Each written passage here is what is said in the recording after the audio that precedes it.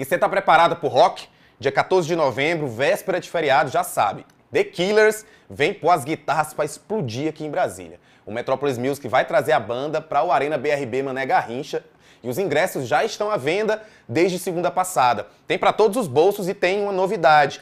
Com a apresentação de um documento funcional, tipo crachá ou carteira profissional, servidores e funcionários públicos federais e distritais pagam meia entrada. Quem também tem direito à meia entrada são estudantes, pessoas acima de 60 anos e outros casos previstos em lei. Os ingressos custam a partir de 120 reais e podem ser parcelados em até 10 vezes no cartão de crédito, sem juros. As entradas estão disponíveis no site da Eventim, na bilheteria do ginásio Nilson Nelson, na loja física da Eventim, que fica no Brasília Shopping, e na entrequadra 102-103 Norte, de frente para o Eixinho.